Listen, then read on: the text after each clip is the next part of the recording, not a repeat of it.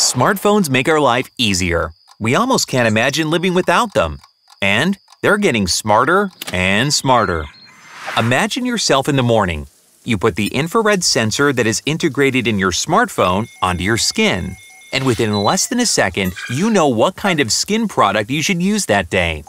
Impossible? This will change soon. Thanks to Qualcomm Technologies and German-based company trinamiX. Your upcoming smartphone might already have a near-infrared spectroscopy sensor that can scan almost everything on a molecular level. Like, it will be able to detect the reflection of infrared light from your skin.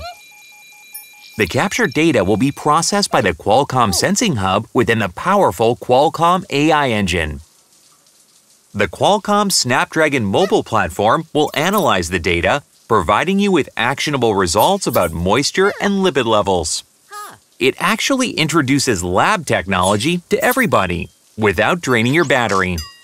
On top of that, the 5G capabilities of Snapdragon allow for constant improvements via cloud while keeping your personal data on your smartphone.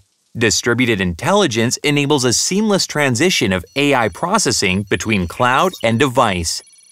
This is just one of the many potential customer experiences for future smartphones.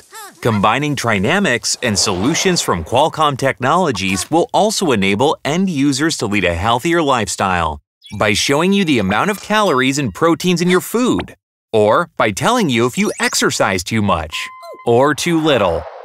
The trinamiX infrared sensor will give you the power to see things you can't see with your eyes. trinamiX, a brand of BASF. We create chemistry.